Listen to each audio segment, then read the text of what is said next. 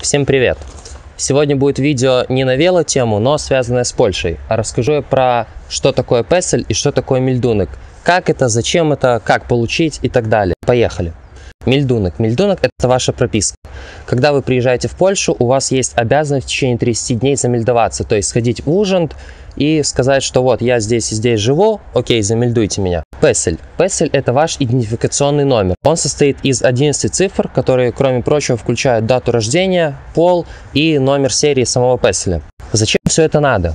Мельдунок нужен для получения песеля. Соответственно, сначала получаем мельдунок, потом получаем песель. Зачем нужен песель?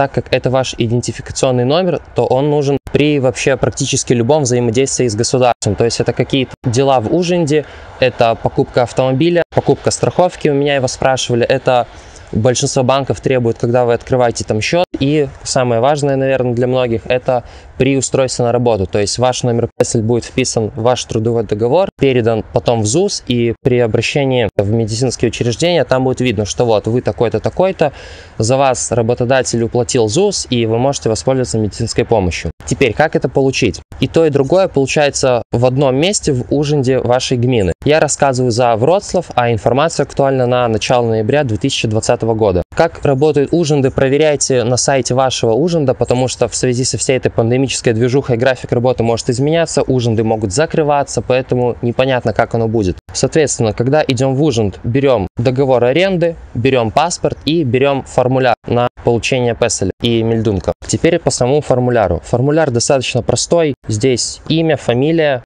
номер песель. Пока что у вас его нет, поэтому не заполняем. Страна рождения, страна предыдущего места жительства, дата рождения и город рождения.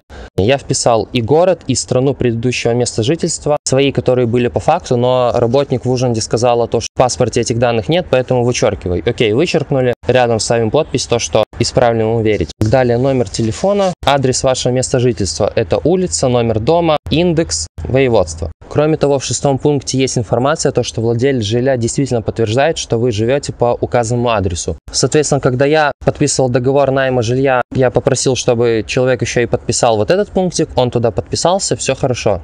Я иду в ужин, и там оказывается, что у меня сглашение по быту столега, а нужно сглашение по быту часовега, потому что все логично, так как я здесь прибываю по визе, которой срок действия ограничен, соответственно, у меня и по вот этот срок действия визы будет сделан мельдунок. Я немного расстроился, потому что вроде как отстоял очередь, потратил уже время, и сейчас придется все по новой.